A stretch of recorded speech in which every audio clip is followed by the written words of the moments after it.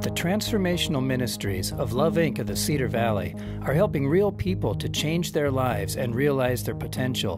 Meet Cubrina. I had decided that, you know, I've been renting for so long. So I figured, why do I need to keep renting if I could get something that I can actually own? Especially because when I rent, I'm there for X amount of years. It's not just a quick ordeal.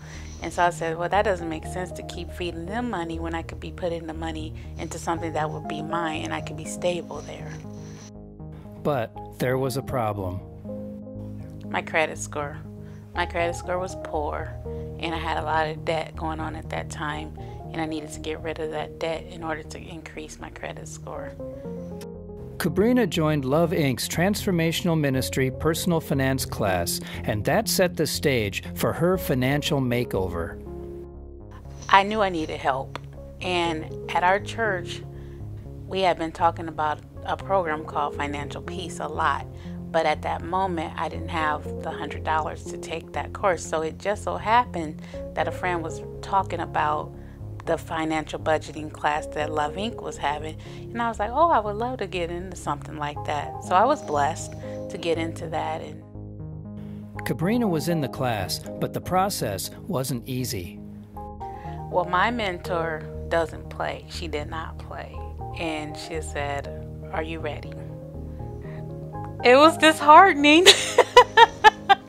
but it felt it feels good now because I don't have that debt behind me but it meant a lot, but it's still, I cannot lie, it was one of the hardest things, but it meant that I was on my way to something better. And I truly have done a lot better since I've cut up not just my Walmart, but all the credit cards. Because she said, We're about to have fun and play a game. Here's the scissors. And I took those scissors and it broke my heart, but I got rid of them. With the help of Love Inc.'s Transformational Ministry Finance class, Cubrina has rescued her credit rating and is now a homeowner. And I'll never forget when I first started increasing my credit score. Um, when and you know you need at least a 641 in order to get things rolling. And the day I went to a 641, I was on creditkarma.com and I ran into my boss's office and was bawling because I could not believe that I could finally apply for something and feel that I'll actually get approved.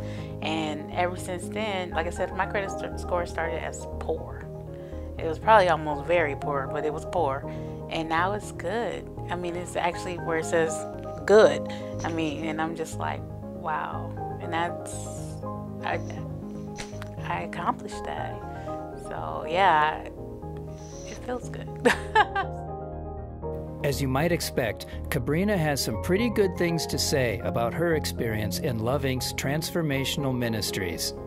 I really like the people. I don't have kids or anything of that nature, and so I like intervening or interacting, I should say, with others.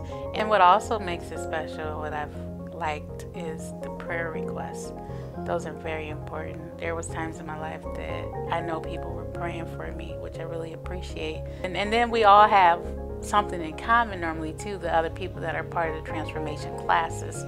And then it wasn't just the budgeting, then after that, we went on to other scenarios. And so I was learning more as a person and opening myself up. And then I could share my experiences with other people that I was, you know, learning. And it's also good because you realize you're not the only one in a bind or the only one who needs God and Jesus in your life. So that's also a reiteration of here He is. All you got to do is reach out and say, Lord, I need you, and He will be there for you. Love Inc.'s transformational ministries give real people real tools to transform their lives.